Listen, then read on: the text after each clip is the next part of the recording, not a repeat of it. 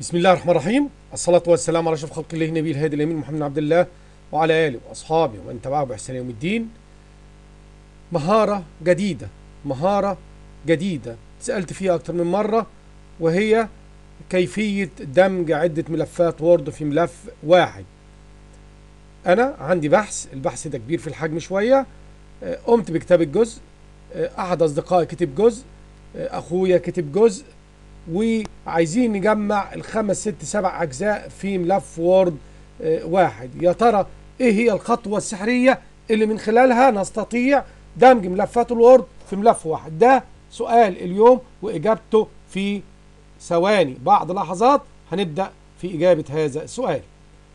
قمت بفتح ال- الملفات ده كان الجزء الأول في تحضير رسالة رسالة الماجستير و بحرك المؤشر بحيث ان أنا اكون في آخر الصفحة ثم ضغطت Enter الانتقال إلى صفحة آه، جديدة.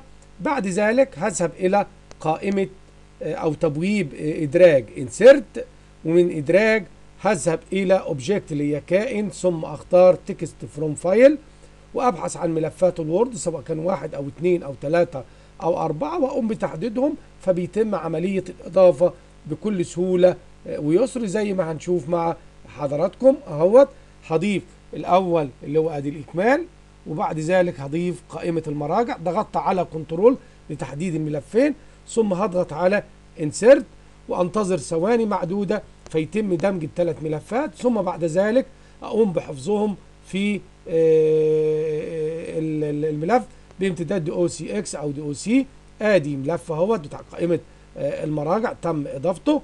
وبدأ الترقيم التلقائي ياخد وضعه ويشتغل معايا.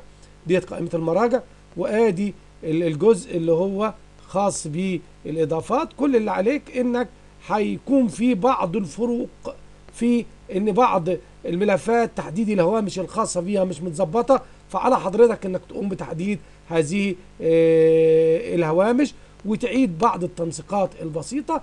خلاص خلصنا هذا الملف وقمنا بدمج عدة ملفات. بعد ذلك يا إما تضغط على آه، حفظ بحيث إنه يتم حفظ حفظ هذه الملفات داخل هذا الملف بنفس الاسم آه، أو إنك تذهب إلى قائمة file من file تختار حفظ باسم وتقوم بكتابة اسم آه، جديد. وهيتم حفظه تلقائي حسب إصدارة ال Windows اللي عندك يا إما دي أو سي إكس يا إما دي أو سي أو إنك تحفظهم بامتداد PDF لو أنت رأيت آه، ذلك. أتمنى تكون هذه المعلومة السريعة البسيطة وصلت لنا لأن أنا فكري في الأيام اللي جاية إن أنا أدي ومضات سريعة في دقيقة أو في دقيقتين بحيث إن إحنا نسهل المعلومة لأن لما بيكون في عدد معلومات كبيرة جدا داخل الفيديو الناس بيحصل لها شيء من ال- البرجلة أو عدم الاستفادة الكاملة. وأنا في انتظار أسئلة حضراتكم وإن شاء الله نقدر نعظم المنفعة من العلم من خلال قناتكم وقناتي على اليوتيوب. تقبلوا تحياتي والسلام عليكم ورحمة الله وبركاته.